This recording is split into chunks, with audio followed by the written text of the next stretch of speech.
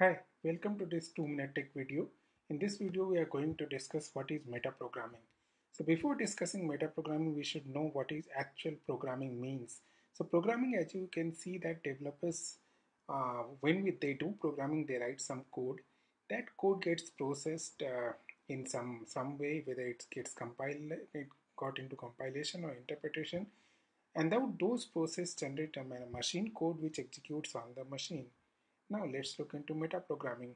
In metaprogramming, developers do write code, but they don't just write code. They write something called code generation logic, some environmental logic, and some intelligence. These uh, these things which is written by the developers goes into some kind of process, and that process based on the environmental and target devices generates the actual code. And this is the code that gets processed uh, which is get compiled or interpreted into machine code and actually executes on the machine.